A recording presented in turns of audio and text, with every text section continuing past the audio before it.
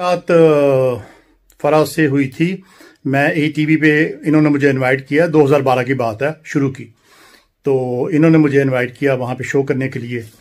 तो इन्होंने मेरा इंटरव्यू लिया जो कि गूगल पे है सॉरी उस पर यूट्यूब पे है सारे का सारा। अगर आप वो मेरा नाम ना, मेरा नाम करें उस पर टाइप विद फरा तो वो इंटरव्यू मेरा आ जाएगा उस वक्त से। तो उसमें वो सारी बातें उन्होंने भी मुझसे पूछी। तो उस शो में उन्हें पता चला कि मैं और वो दोनों एक ही जगह से हैं।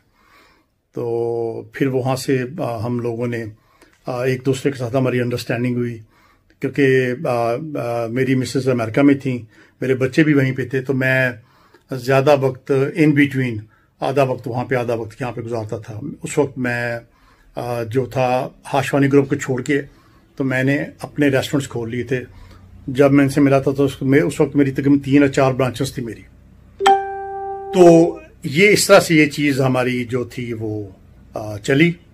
उसके बाद आ, आ, फिर वहीं पे आ, पता चला कि इनकी मदर भी मेरे ही गाँव की रहने वाली हैं। इनके फादर टोबा टेक सिंह के मैं गोजरा से हूँ।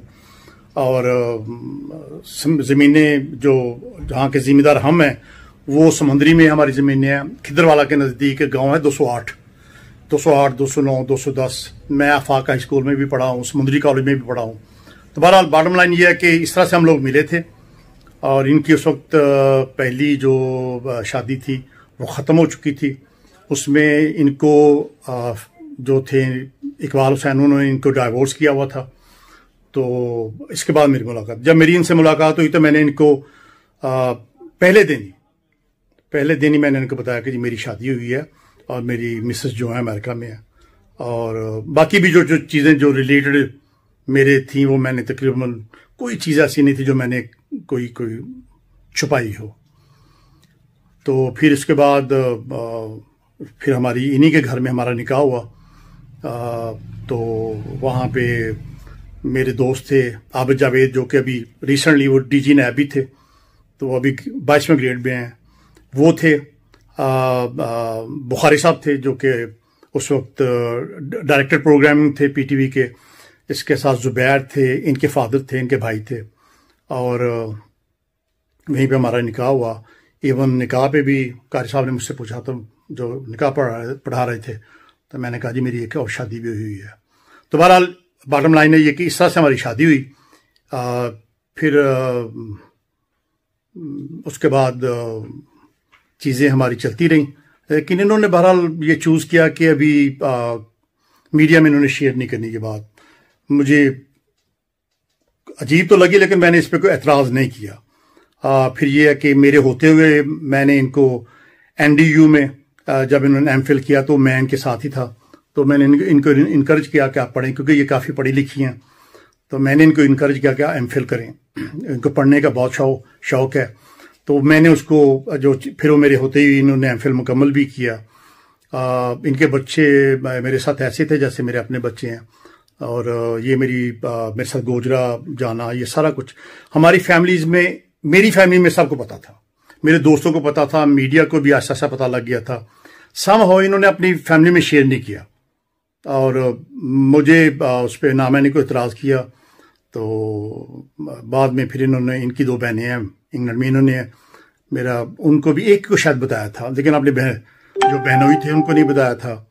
तो फिर उसके बाद हमारी कुछ चीज़ें जो थी आ, उस पर थोड़ी सी रंजिशें बढ़ी जो एक और दूसरी स्टोरी है। मैं वापस चला गया क्योंकि मेरी पहली मिसेस थी उनको कैंसर हो गया था। तो फिर मैंने कोई दो साल अढ़ाई साल उनके साथ गुजारे आना जाना आना जाना उनके साथ रहता था मेरा। तो आ, बाकी ये है कि जैसे मैंने कहा कि ये जैसे आम एक शादी होती है उसी तरह से ये शादी हुई। इसमें कोई ऐसी बात नहीं थी। हमने आ, इन्होंने इसको छुपा के रखा और मैंने नहीं किसी को बताया मीडिया पे लेकिन फिर वो उस दिन मेरा एक इंटरव्यू हुआ। तो उसमें सम हो जो आ, सवाल करने वाले थे उनको किसी जगह से पता चला था। तो उन्होंने इंटरव्यू में मुझे वो पूछ लिया और मुझसे झूठ नहीं बोला गया।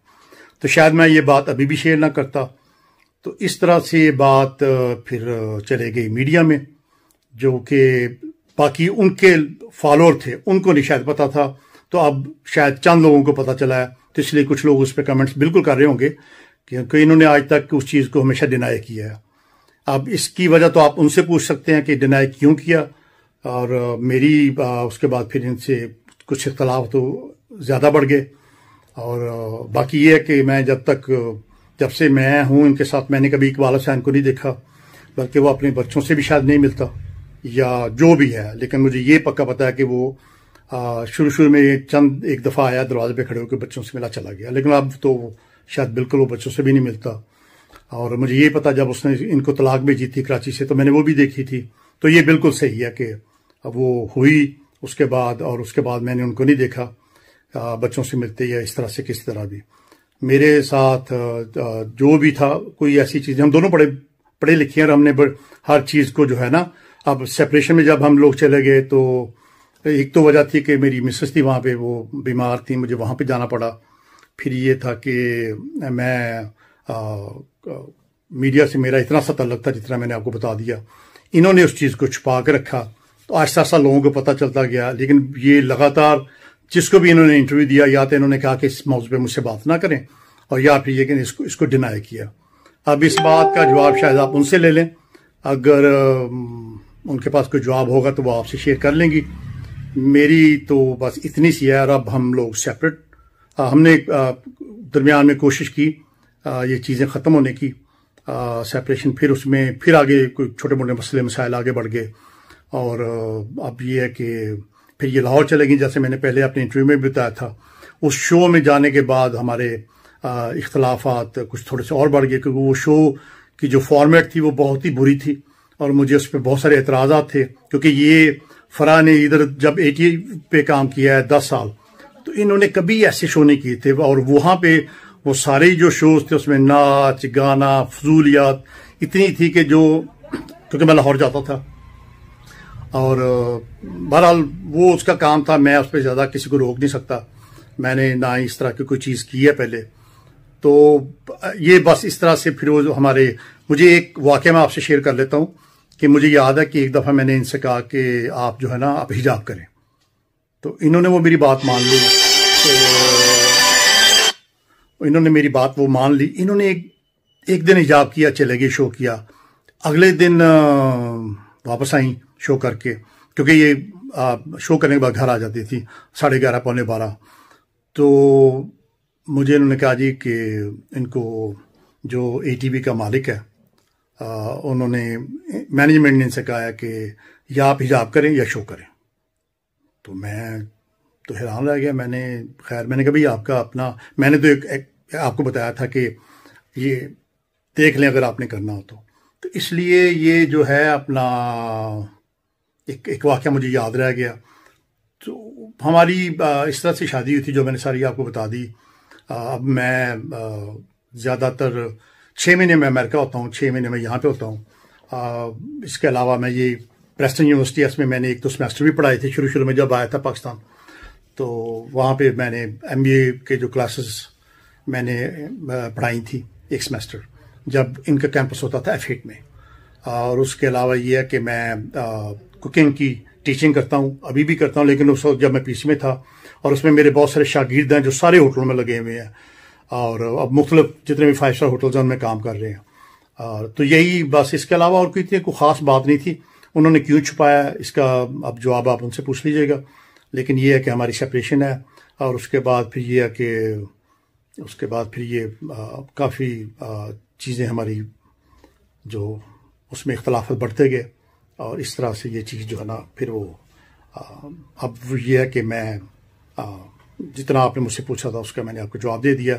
अगर इसके अलावा कोई ऐसी बात हो जो मुझे पता हो तो मैं आ, आपको जवाब देने के लिए मुझे कोई इसमें आर नहीं है।